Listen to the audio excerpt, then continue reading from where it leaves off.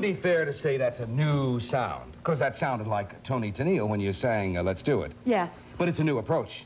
Yeah, it is a new approach, and uh, it's actually music that I feel I was born to sing, and I'm finally getting my chance. You mean Love Will Keep Us Together? You weren't born to sing my favorite record? Well, of course I was, Oh, and. I love Love Will Keep Us Together, and Muskrat Love, and You Never Right. Done It Like That, and all that. But my dad was a big band singer in the late 1930s. He sang with the Ben Pollack Orchestra, Oh, which became Bob Crosby's Bobcats. Sure. And he is a fine singer and a lover of music. And every other day when I was a kid, he'd come home with a new album by Frank Sinatra or Sarah Vaughan or Ella Fitzgerald. And this is what I was raised on. This was, was my music.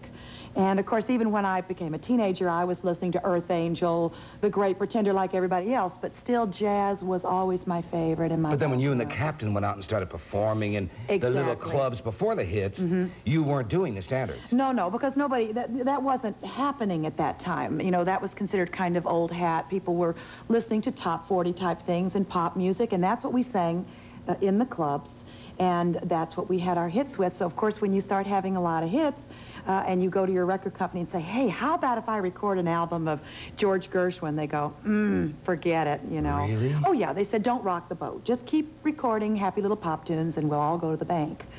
So that's what we did. How did you, how did you get so far away from their advice on this album? Well, it, it, it took a lot of, of talking and a lot of struggling. We've been through a couple of record companies since then, um, and I, to each one I have mentioned the same thing. And finally, Daryl and I had been with CBS for the last couple of years, and we've just not come up with anything that they have been happy with. They'd always listen and say, oh, it just misses. Why don't you go back and try again? So after you hear this for a couple of years and you don't have anything on the top pop charts, I said, hey, how about now? Why don't I do it now? And they said, oh, nobody wants to hear that music.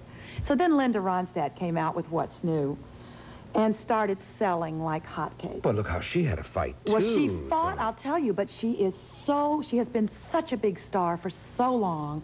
She had so much clout, she was able to force it through, where I was unable to do that. So when Linda had sold about 500,000, was still going strong, I went back to the company again. I said, how about now? And their reply was, well, this is probably a fluke. A fluke, You right know, away, yeah. So that's when I talked to Daryl and I said, Daryl, we've got to go for this. We've got to do it somehow. So we did, Merv, essentially what we did with Love Will Keep Us Together to start our career, we did it ourselves.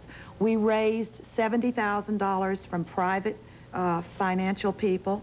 We went into the studio. We recorded the album in two days, two six-hour sessions. It was done live. Uh, there were no The band mixing. was right the there band was as you there. 43 pieces, the strings, it was heaven. That is so inspiring. It was. Oh, it was great. And we recorded it, and two weeks later, we sold it to Mirage Atlantic, and it'll be on, on the streets. It's on the streets right now, and It's I'm thrilled. Better, it should be in the shops, not on the It street. should be in the shops. It's in the shops. right. Good. So we did it ourselves, and that just shows you that you have to do it sometimes yourself. Sure, sure. But nobody believes you, and you feel positive. Yeah. That's where the great, the great strengths come. I think so. You betcha. The song you're going to do now is a Gershwin song. Yes, and uh, as I understand it, it's the last song that George Gershwin wrote before he died. He Right. died very young, at, at age 39. He left us wonderful music, but there's so much more to go. But this one, if he never wrote another one, this, This is one is my favorite. With a lyric by Ira. yes, by Ira.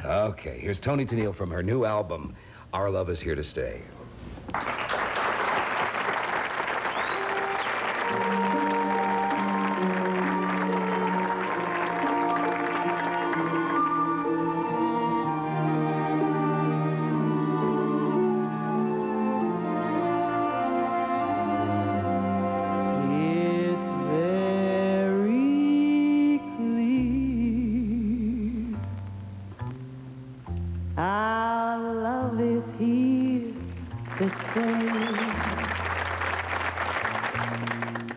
Not for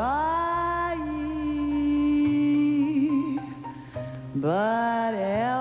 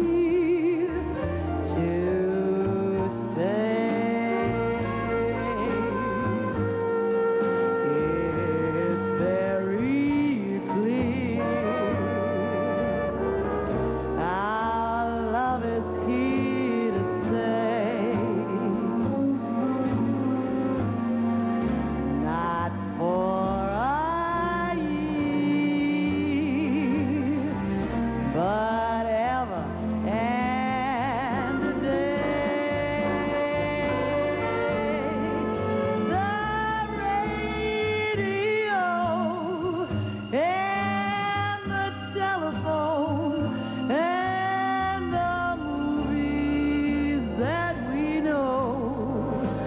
May just be passing fancies and in time may go